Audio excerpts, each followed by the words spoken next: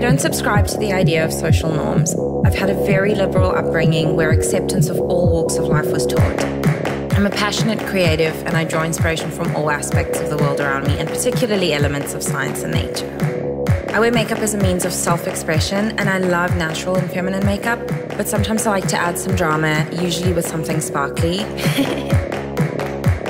In fact, I'm most comfortable knee deep in glitter backstage at Fashion Week. Working in these circumstances makes me feel stimulated and fulfilled.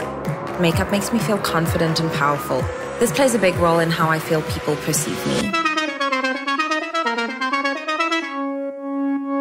I love being a makeup artist and I love the magic of making somebody feel beautiful. I feel that there has been a really negative surge on social media about other people wearing too much makeup. I think sometimes the beauty standards and ideals that are popularized by iconic celebs through social media makes people feel that they are not beautiful or feminine or any other defining elements that we feel pressurized to achieve. I don't think that you have to wear makeup to be beautiful, and I don't think you have to wear makeup to be feminine. In the same breath, wearing makeup does not make you less masculine. I embrace body and beauty positivity, and I aim to always share the idea of acceptance of people as they are.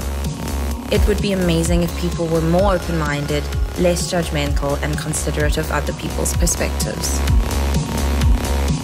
Makeup is not a mask, makeup is an outward display of your inner self.